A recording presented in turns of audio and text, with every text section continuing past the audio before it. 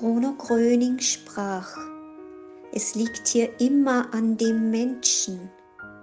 Wie ich gesagt habe, wer es wert ist, dass ihm geholfen wird. Es geht hier nicht um Geld. Es geht um den Glauben.